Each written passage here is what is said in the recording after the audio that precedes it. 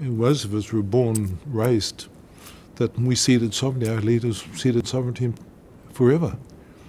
And then I think as the Maori history started coming out, then um, a lot of us had to change our minds. Even though our instinct said that doesn't make sense, but we had no basis for saying it other than I can't imagine our tupuna doing it. The use of the word mana in the um, in the Declaration of Independence makes it quite clear that um, mana was not ceded in the Treaty of Waitangi and that the use of the word kawanatanga was absolutely deliberate. There is a long standing interpretation of the treaty that is around that says that Henry Williams went into the treaty negotiations and deceived Maori. I suspect it's a deliberate obfuscation, actually.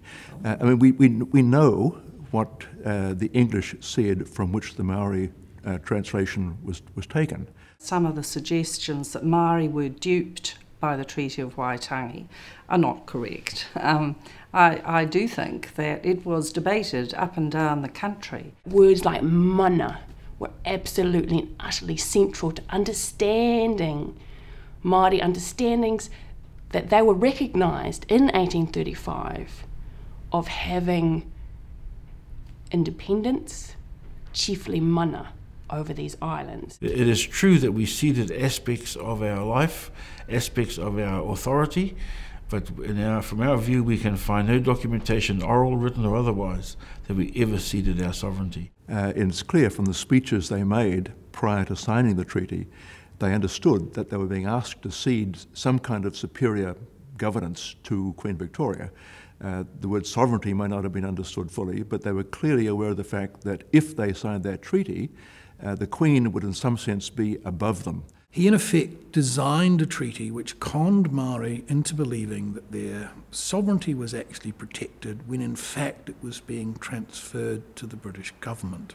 For myself, I've always thought the translation arguments to be uh, a little bit of a dead end in the sense that it can't be disputed that the treaty is actually the Maori text of the treaty. We signed a Maori version. It was the only version that was debated and discussed.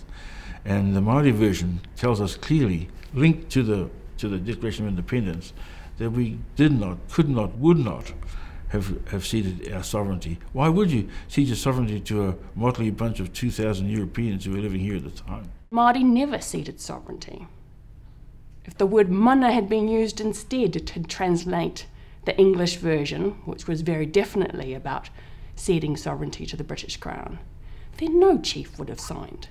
So we've been able to now look at it fairly rationally and, and look at their actions, say from 1831, 1834, 1835, 1840, and then after that, in 1847, 1850s, you find all the Maori leaders, the next generations afterwards, all singing the same song. Mm. We did not cede sovereignty. You took it.